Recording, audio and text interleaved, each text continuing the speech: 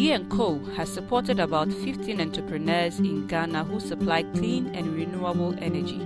Let's meet some of these entrepreneurs who have benefited from E&Co's investment capital and enterprise development services.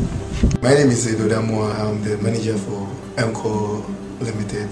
EMCO Limited started about three years ago. We started a solar project with uh, Kumasi, in Kumasi, with uh, individual households, and now we are graduating into commercial areas with hotels and uh, with industries. Uh, has had its success with, with the solar business, but I have met several challenges in those areas, of which we are glad that gradually we are moving up.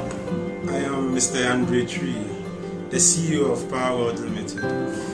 Power World Limited is a company that provides clients, customers with energy efficient, reliable, power related services.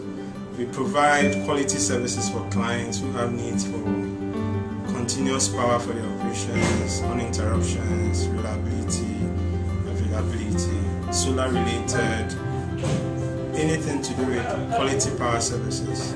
We met E&Co through Kite. E&Co is a company that provides entrepreneurs with the opportunity to make their dreams and visions come true. Seth Naname is the CEO of Anasset company limited. Anasset company is a licensed LPG marketing company in Ghana.